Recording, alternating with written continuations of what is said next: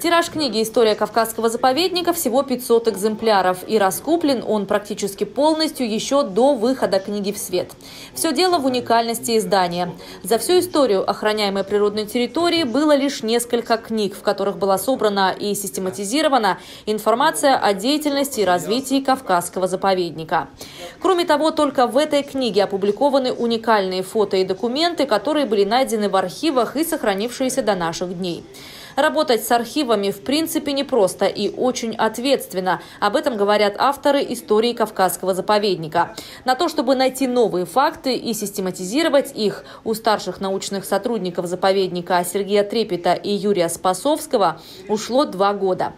Большой блок об истории заповедника в годы Великой Отечественной войны взял на себя друг Кавказского заповедника, научный волонтер, фотограф, путешественник и историк по образованию Дмитрий Андреев поднимаются архивы, которые до этого ну, лежали годами на полке. И никто до тебя, допустим, этими делами архивными не занимался, никто их не требовал. Они просто, как книжка в библиотеке может лежать, а ее никто не читал никогда. А в ней написано столько интересного. То же самое с архивами, а, на основании которых какие-то данные проявлялись в заповеднике.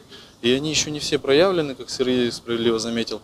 А, вот сейчас опять накапливается материал, который может послужить продолжением той же истории.